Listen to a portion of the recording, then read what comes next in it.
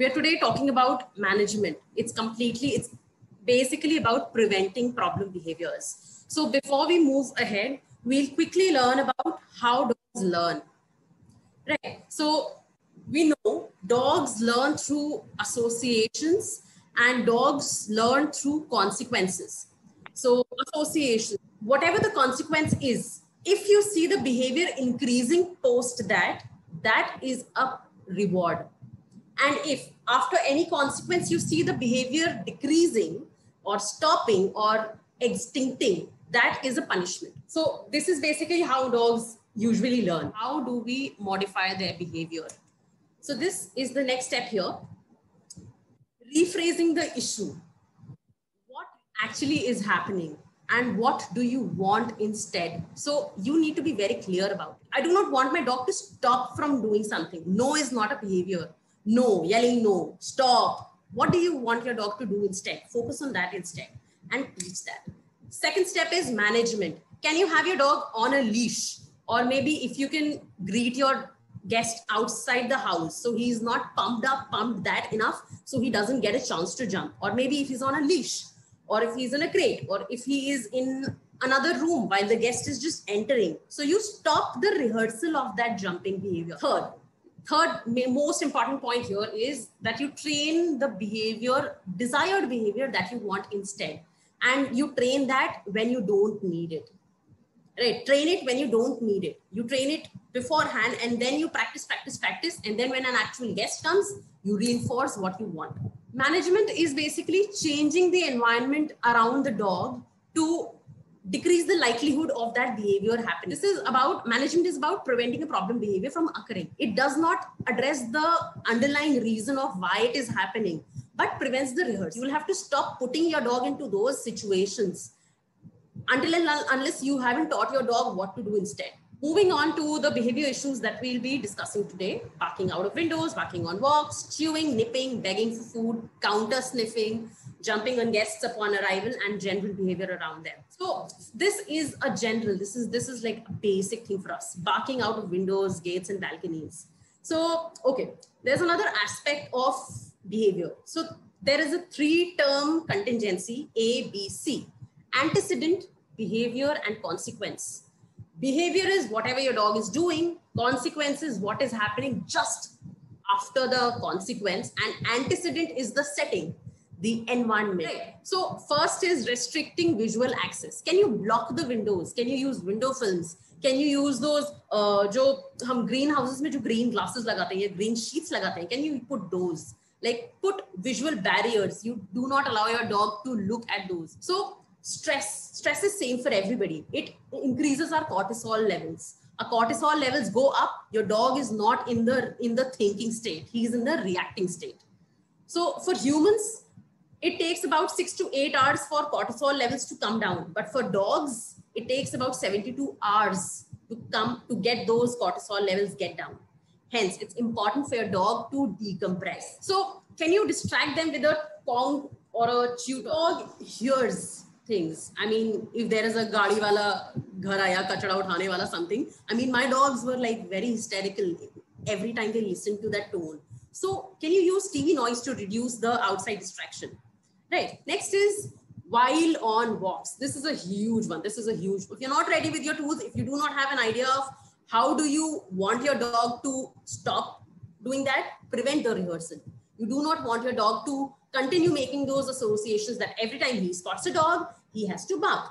Don't, please don't give them that repetition. Can you change, can you hide behind cars? Can you change your routes? Can you go in other alleys where you wouldn't find or you wouldn't get across any other dog or person, anything else? Maybe if you can change your walk routes, you can change your lanes, you can change your walk timings, right? Low traffic hours, anything. Next is you can have something like a Kong hand. Like we showed you what a Kong looks like. You can make a Kong out of your hand. So this has a narrow opening and this has a wider opening and you can have food inside and you can, you can just lower your dog walking towards your side and slowly dispersing food at your, at your end, at your knee level.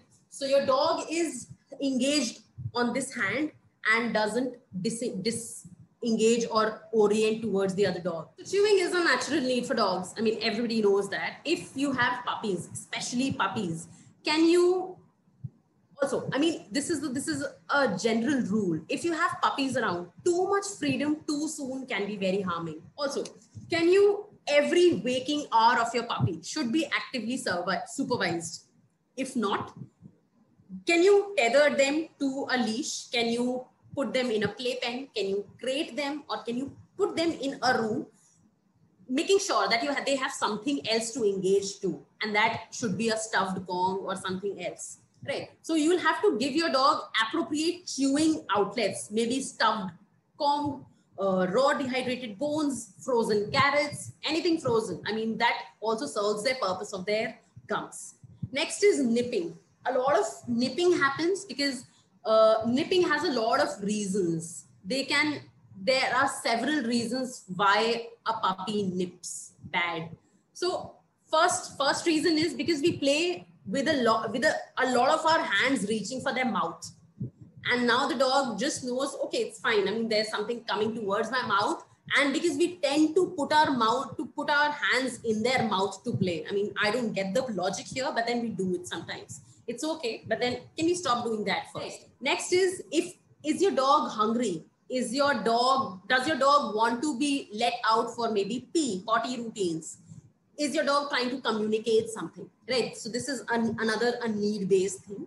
Next is when your dog is over aroused right? We tend to play for half an hour i mean non non-stop half an hour breaks with our dogs. So this is something that is very harming for our dogs. This is not uh, tiring them out but then this is just overstimulating our dogs. So now our dog is just excited, excited, excited and doesn't know how to stop or how to relax. Hence, we need to ensure that we have breaks every 10 minutes maybe for our puppies. 10 minutes a lot is a lot for puppies. Next is begging for food.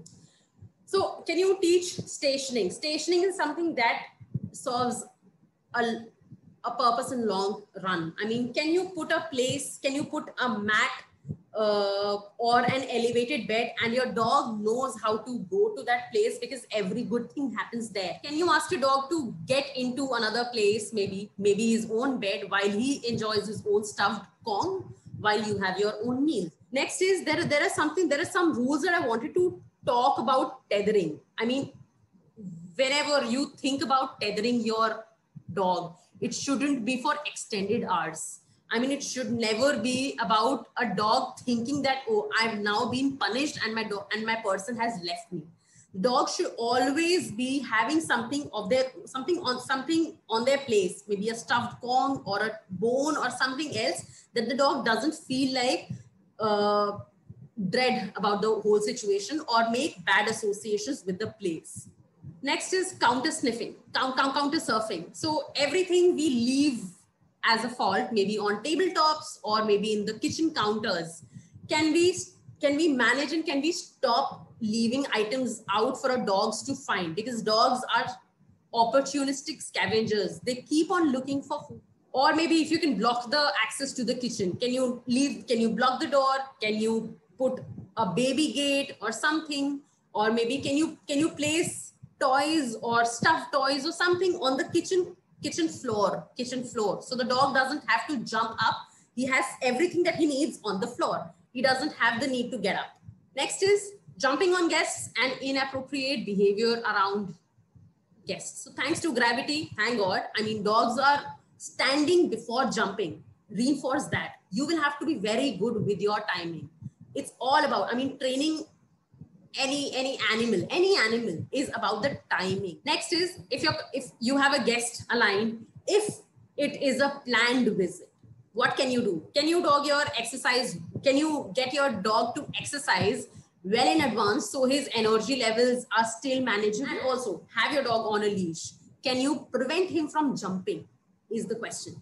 Can you have treats in your hand while your dog is just standing? Can you have a high dispersal of treats? Yes yes, yes, yes, yes. Can you get him to stand? He doesn't, if he doesn't get a chance to jump up, I mean, that is what he wants. He wants our attention, maybe.